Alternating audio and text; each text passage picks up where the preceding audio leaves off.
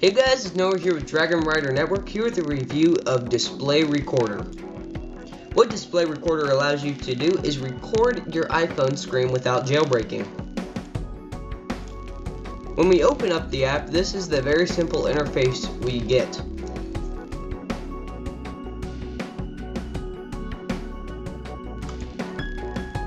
Let's go ahead and take a closer look into the interface.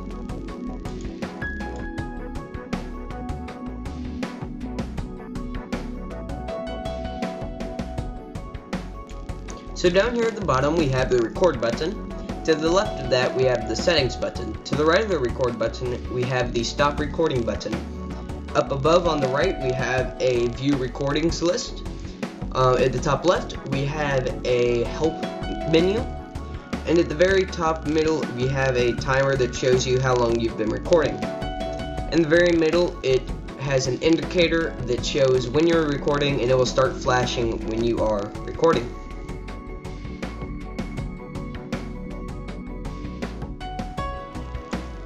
Now let's take a look at the settings menu. The settings menu is basically the only menu you will be using on this app.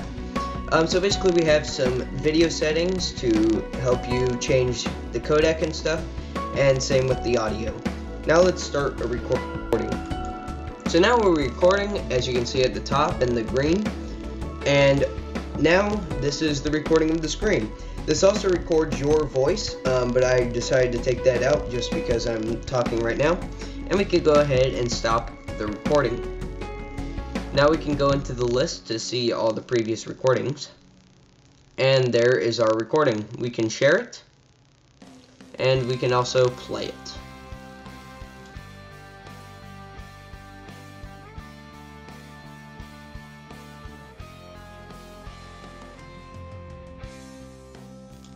So now that that's done, we can go ahead and back out of there. And that is basically the app.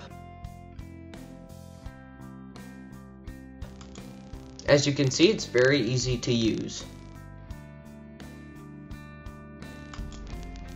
Now this app, I give a two and a half out of five stars. The reason being, um, is it crashes almost every single time you record, and because of the price. It's starting at $9.99, um, so that is a pretty steep price, um, especially for how much it crashes. Almost every recording it crashes, and I was lucky just to be able to get that recording for the video um, to record. The pros is that it's fast, great quality, and easy to use. So I might recommend this app. I would wait for some future updates to come out um, to fix crashing and stuff. But other than that, um, it's a pretty good app. Uh, I hope to see you all next time. Bye.